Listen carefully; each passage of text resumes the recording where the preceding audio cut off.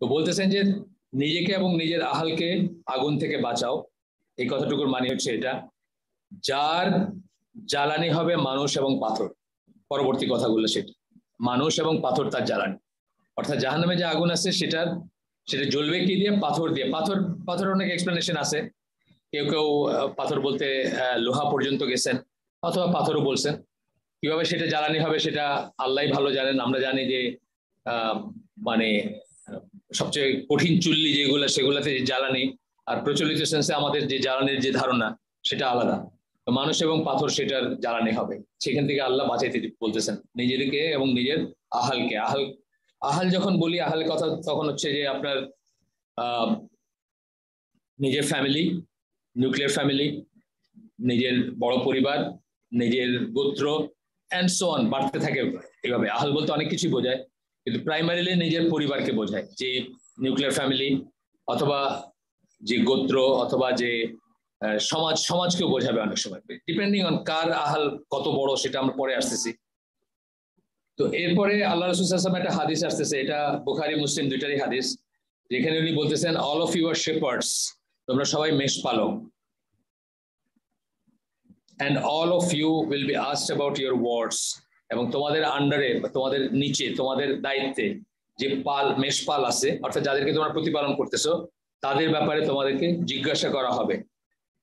And the man will be asked about his family এবং এইখানে চলে আসলো মানে আহল সেন্সটা যেভাবে আমি বললাম আর মানুষ তার পরিবার সম্বন্ধে জিজ্ঞাসিত হবে। এখন এই যে শেপার্ড কথাটা বললেন, মেষপালক কথাটা বললেন, এটা একজন রাষ্ট্রপ্রধানের জন্য তার হার্ড হচ্ছে তার গোটা জাতি। গোটা জাতির দায়িত্ব তার। তাকে জিজ্ঞেস করা হবে, এদের ব্যাপারে কি করছিল, এদেরকে কি পথে পরিচালিত করছিল, এবং এদের, এদেরকে কি বুক, আমার কথা বলছিলা বা ইসলামের কথা বলছিলা বা ইসলামের পথে অ্যান্ড সো অন তো একজন রাষ্ট্রপতি, যার যত পজিশনটা বেশি, তার দায়িত্বটা তত বেশি, তার হার্টটা তত বড়। হার্ট বলতে যে মেষপাল বলতেছি বা যাদেরকে প্রতিপালন করেন তিনি, যাদের দেখভাল করেন, যাদের দায়িত্ব তার উপর আছে। যে জন্য ওমর রাজাল ঘুমাইতে পারতেন না। তার তার রাজ্যটা তো অনেক বড় ছিল। ঘুমাইতে পারতেন না যে সুদূর ওই একটা, এই যে রাজ্যের একটা কোনায় বা কোথাও যদি কেউ না খায় মারা যায়, সেটাকে, সেটার জন্য তাকে জবাবদিহি করতে হবে। এই চিন্তায় উনি ঘুমাইতে পারতেন না। এবং উনি যখন মারা যাচ্ছিলেন, তখন ওনাকে একজন কাউকে সিলেক্ট করে যেতে বলা হয়েছিল। যেটা একটা ইসলামী একটা ওয়ে আমির সিলেক্ট করা একটা ওয়ে যে আগের যিনি, উনি বলে যেতে পারেন যে আমার পরে অমুক আমির হবেন। এটাও কিন্তু ভ্যালিড ওয়ে যেভাবে ওমরকে বলে গেছিলেন, ওমরের কথা বলে গেছেন আবু করা দিল্লাহ একইভাবে ওমরকে বলা হচ্ছিল উনি তো কিছু সময় বেঁচে ছিলেন, ওনার জানেন তো স্পাইক দিয়ে ই করছিল, পেটটা ফুটা হয়ে গেছিল, খাচ্ছিলেন, দুধ সেটা বের হয়ে আসতেছিল বড় না আছে, যাই হোক। তো উনি অনেকক্ষণ বেঁচে ছিলেন বা কথা বলার অবস্থায় ছিলেন। তো তাকে বলা হয়েছিল যে, আপনি একজন ই সিলেক্ট করে যান, উনি সেটা করেন নাই। উনি ছয়জন এর একটা টিম বানায় দিয়ে গেছিলেন যে, এদের এরা ঠিক করবে কে নেক্সট আমির হবে।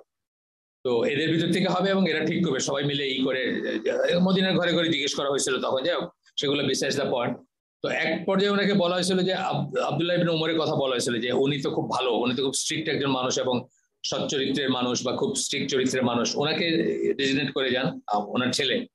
তখন উনি বলছেন যে এক ফ্যামিলিতে এই বোঝা একজন বহন করছে এটা এনাফ মানে ওনারা এটাকে বোঝা হিসাবে দেখতেন। এটাকে মানে কোনো মতে যেন তেন ভাবে পাওয়ারে গিয়ে সারা জীবন থাকার ফন্দি করা এটা দেখতেন না। বোঝা হিসাবে দেখতেন। বার্ডেন হিসাবে দেখতেন, দায়িত্ব হিসাবে দেখতেন এবং ভয় করতেন যে এখানে ত্রুটি হইলে তার খবর আছে। যেই জন্য উনি ওনার ছেলেকে দিয়ে যেতে চান নাই। তো এইখানেই বোঝা যায় যে যত উপরে যাবেন, যত বড় হবে আপনার হার্ট তত বেশি আপনার দায় দায়িত্ব বাড়বে। আপনার ন্যূনতম হলো নিউক্লিয়ার ফ্যামিলি হাজব্যান্ড ওয়াইফ ছেলে, মেয়ে। এইটারও আমির হচ্ছেন হাজব্যান্ড হাজব্যান্ডের আন্ডারে ওয়াইফ এবং ছেলে, মেয়ে, এনারা হাজব্যান্ডের আন্ডারে আসেন এদের জন্য তাকে জিজ্ঞেস করা হবে।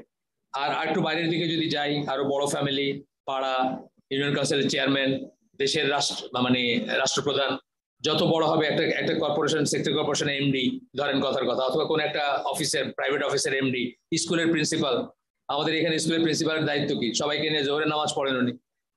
নিচে পড়েন, উপর মানে কয়েকটা ভাগে পড়েন। এইখানে যদি উনি গাফিলতি করেন, উনি ওনাকে জিজ্ঞেস করা হবে। অথবা বাকি যে ইসলাম, ইসলামিক ভ্যালুসগুলো আমরা দেওয়ার চেষ্টা করতেছি ওইখানে যদি উনি গাফিলতি করেন, উনি আল্লাহর কাছে জবাবদিহি করবেন। এটা হচ্ছে সেন্স আচ্ছা। এখন যখন আপনারা একটু